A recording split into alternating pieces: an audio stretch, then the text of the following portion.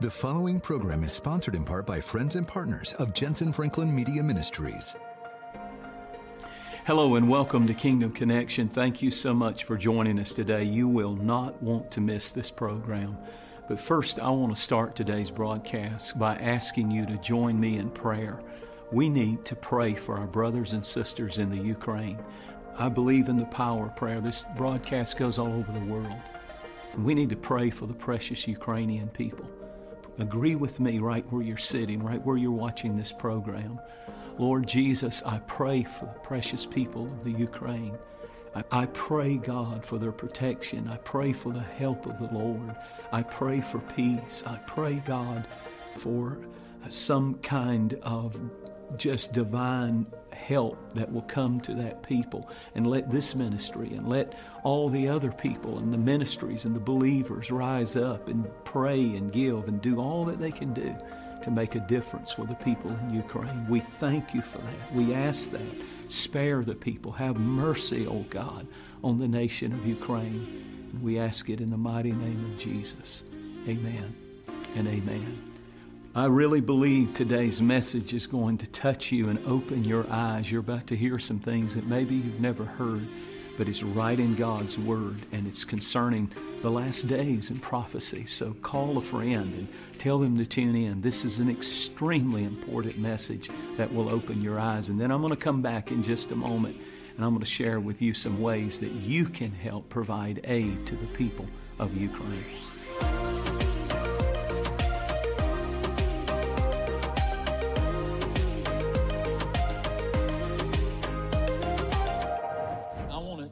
Take a few moments and go to the book of Second Thessalonians, chapter 1, and just verse 7. And listen to what it says. We'll back up to verse 6. Since it's a righteous thing with God to repay with tribulation those who trouble you. That's kind of a neat verse. If people are troubling you and, the, and they're doing it in an unjust, evil way, God said, if they trouble you, listen to this it is a righteous thing with God to repay with tribulation those who trouble you.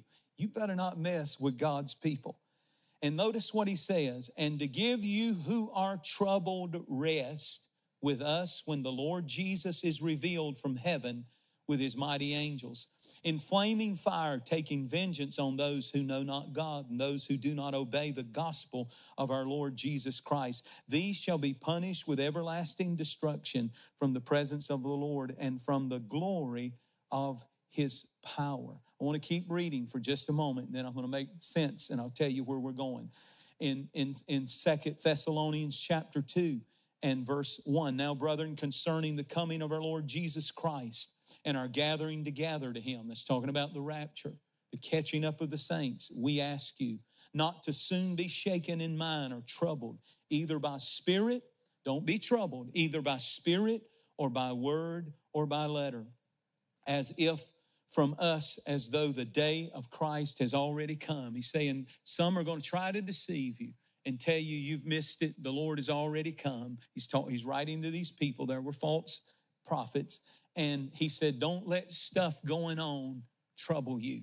Verse three, let no one deceive you by any means, for that day will not come unless a falling away comes first, and that man of, of sin be revealed, the son of perdition. That is a reference to the Antichrist, who opposes and exalts himself above all that is called God, that is worship. So he sits as God in the temple, showing himself to be God for the mystery of iniquity, and many translations and translate correctly that word iniquity, the mystery of lawlessness is already at work.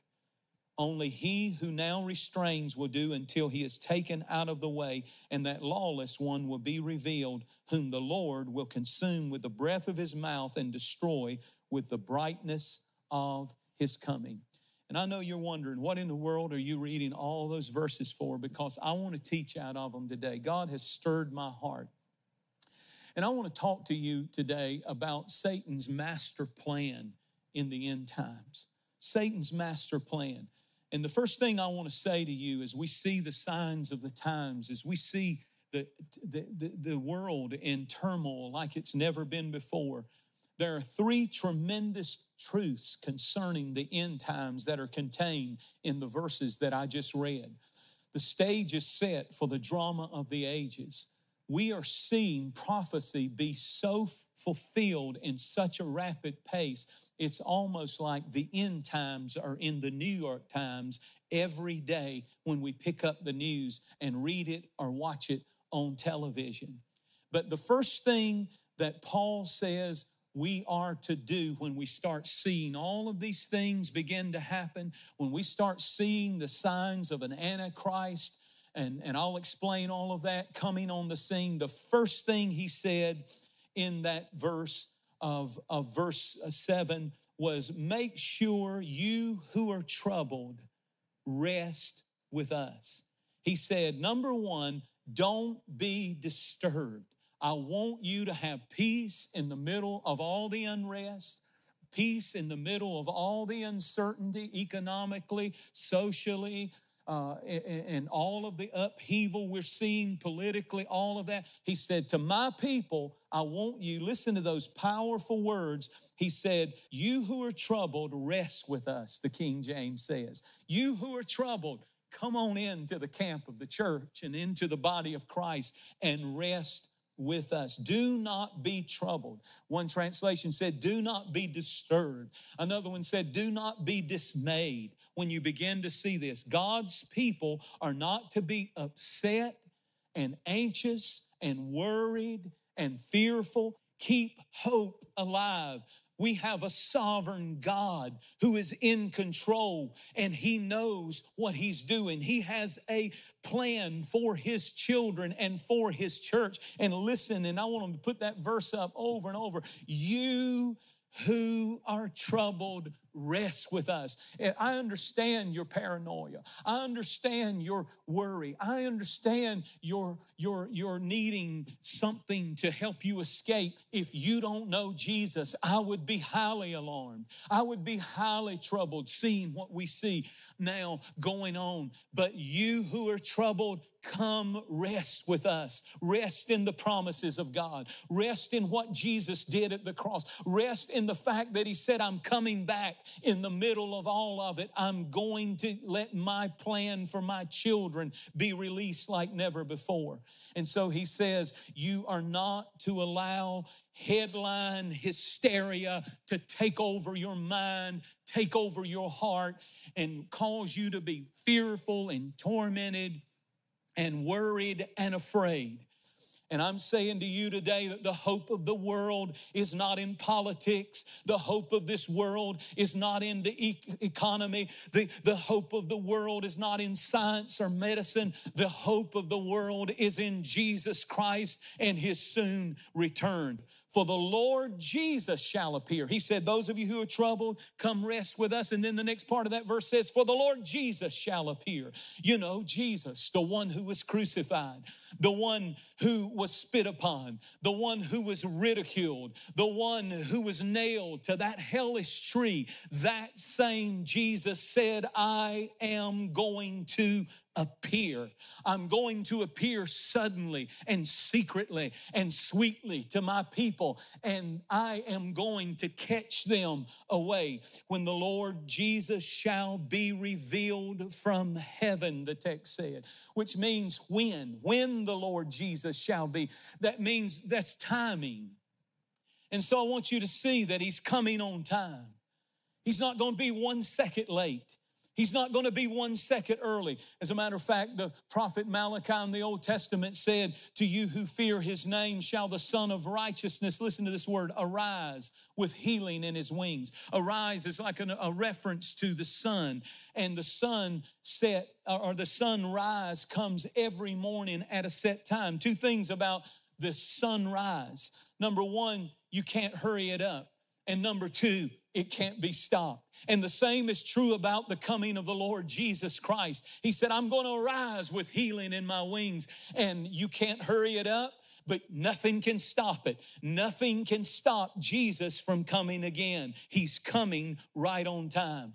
And I want you to understand the first thing that he says is do not be dismayed by all that is going on. Have faith in me. I will take care of you. I will provide for you. I will protect you. I will defend you. I will shelter you in my arms. Do not be dismayed. And then, secondly, he says, and do not be deceived. Look at that verse in Second Thessalonians chapter 2, where he says, and make sure, listen to this verse. He said, and let no one deceive you by any means, for the day of the Lord, he's talking about the day when Jesus comes, will not come, listen, unless the falling away come first and the man of sin is revealed, the son of perdition. Now, this is very, very important. He said, Don't be deceived because the devil is a deceiver. One of the things that Satan will do in the end times is come as the father of lies. He will use deception. But there's a real revelation. It said, Christ will not come until first the Antichrist and is starting to be revealed.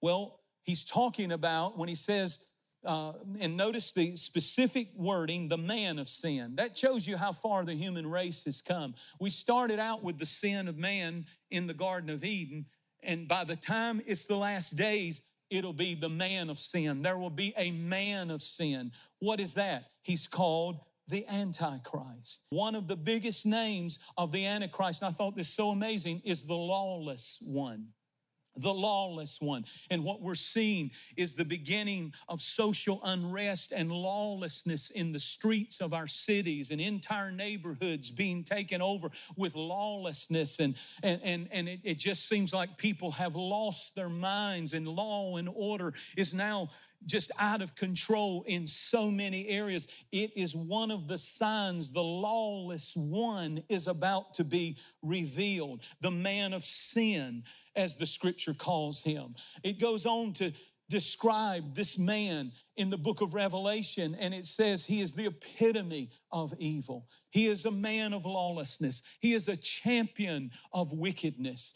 Revelation 13 calls him the beast, meaning he will have the nature of a beast. He will be anti Christ, he will be anti church. And isn't it amazing that he said that Jesus would not come until there first be a great falling away? Well, a falling away has to do with the church and people going to church and being a part of church. And could it be that this, this shutting down of the churches is part of the Antichrist spirit trying his best to cause many to fall away, families and generations to fall away from the habit of coming to church and worshiping God. And there is a great falling away that has to happen before Jesus comes and before the Antichrist is revealed. He said that he's anti Christ, he's anti church, he's anti Israel, and he's anti Bible. And all that I'm saying to you is simply this Satan has always, in Isaiah 14, he said, I'll, I'll exalt myself before the throne of God, and I'll set myself up, and I'll cause people to worship me. And when the Antichrist comes, he will come and he will not only take over the world, but he will cause worship to leave the church, leave God. Now, the church is going to be taken out, and I'll explain that in a moment. But notice what it says in verse 3 it says, the Antichrist will be revealed. The word revealed means exposed, shown for who he is. Means that when the coming of Jesus is near, it can't happen. The coming of Jesus can't be near unless the beast is here, which tells me, I believe with all of my heart, I, that the coming of the Lord is near. Therefore, I believe that the Antichrist, the beast, is alive and well on this earth. The unveiling of the beast is what we're beginning to see in our world as we are watching things that we never dreamed would take place in our lifetime.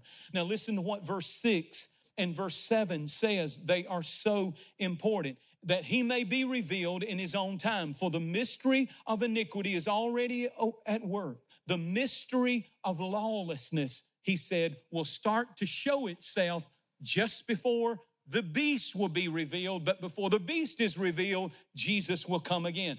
The Bible declares that that spirit is being held back. Now, this is the good news, and I want you to get excited about this because the Bible said in verse 7 now he who restrains and the word restrains and the bible declares that that spirit is being held back now he the king james says he that letteth the word let means to restrain. So, who is the restrainer? Who's holding back the hordes of hell from taking over? Who's holding back the Antichrist from being revealed? Who's holding it back? He tells you who.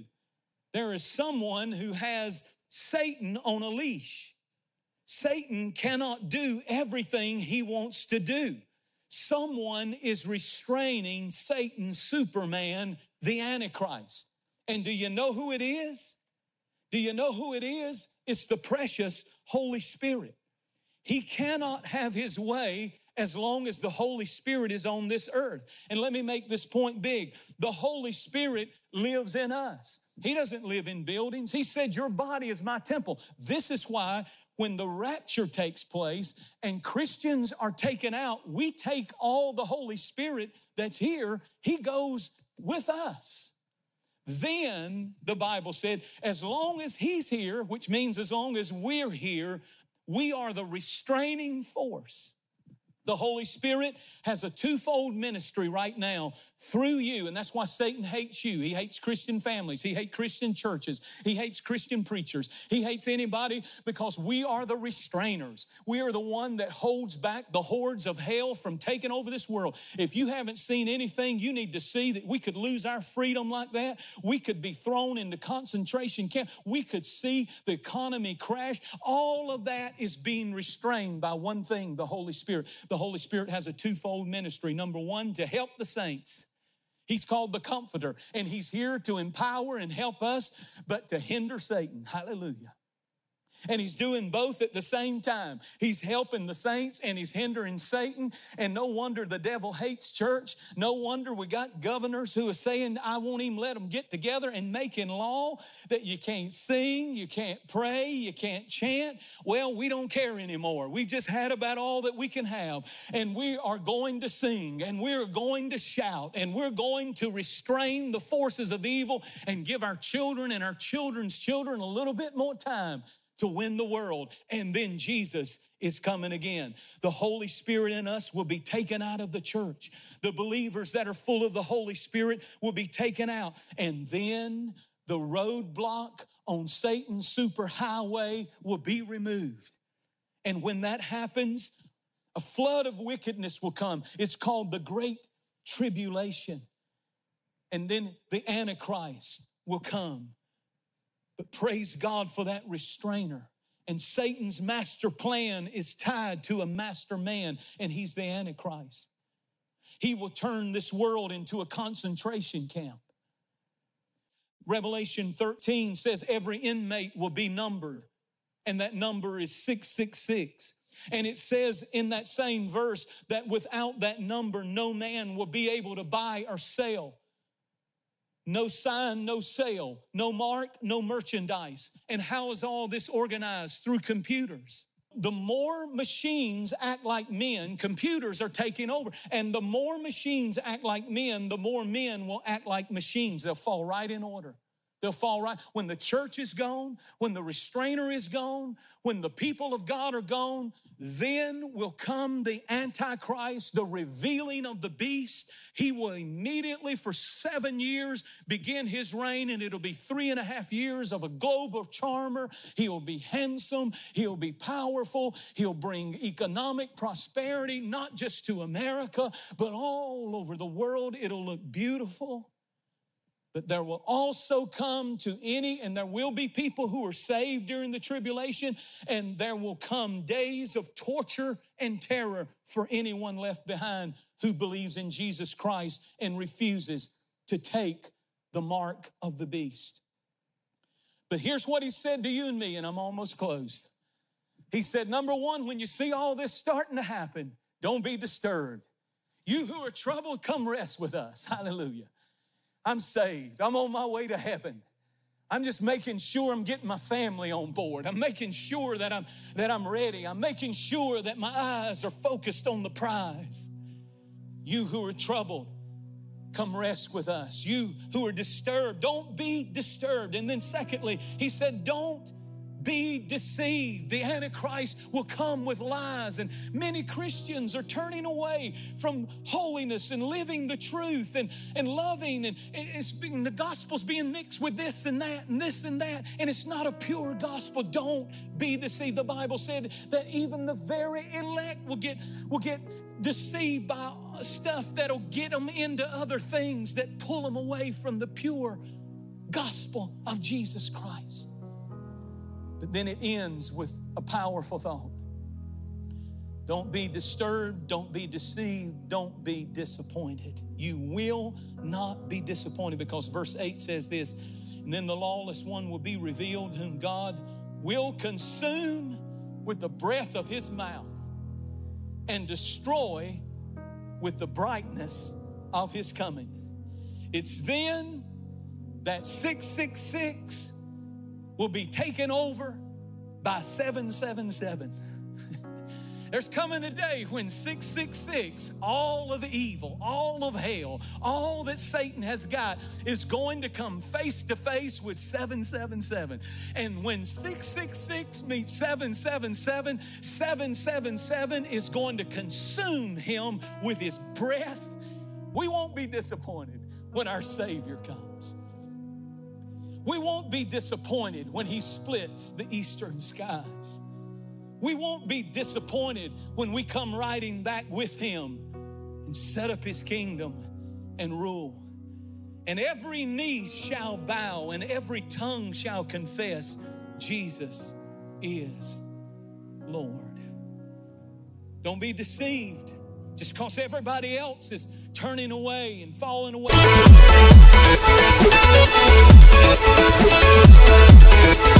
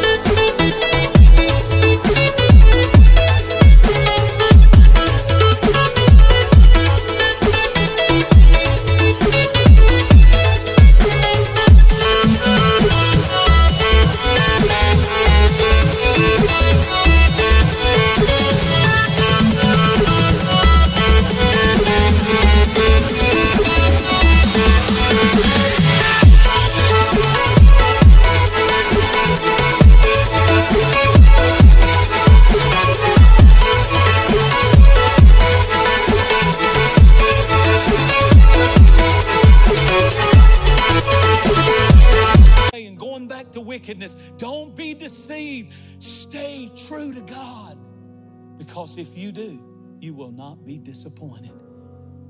He's coming just like He said He would. Pray this prayer with me, everybody. Lord Jesus, I give you my life. I give you my family. I give you my sin. I believe the word is true. I believe just like the prophecies of your first coming were fulfilled. I certainly believe you lived and you died and rose again for me.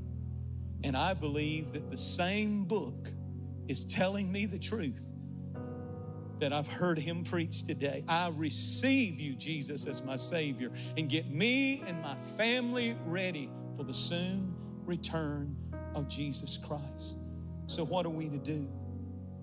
What are we to do, Pastor? Pray for your loved ones win souls. Start sharing messages like this. Begin to fast and pray with me in these end times that God would cause great light to come on the church and through the church. Comfort one another.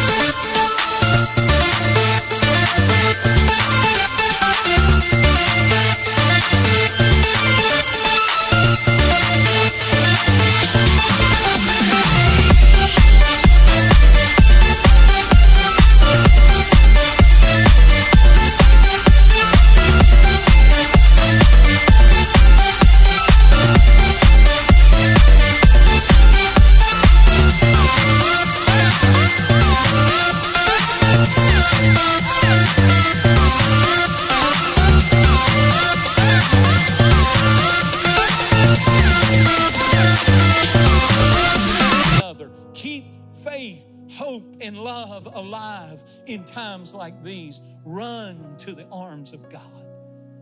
I plead the blood of Jesus over every home. I plead the blood of Jesus over every person watching me today by television, by internet, wherever this is being seen. I claim miracles in people's lives, especially of deliverance and salvation. Let backsliders come home. We love you. We're praying for you. And now is the time, like never before, to be very sure your heart is right with God. It starts with you, and then get your family saved. Get them saved. Go after souls now, like never before. This program has been sponsored by friends and partners of Jentezen Franklin Media Ministries. Your prayers and financial support make these programs possible.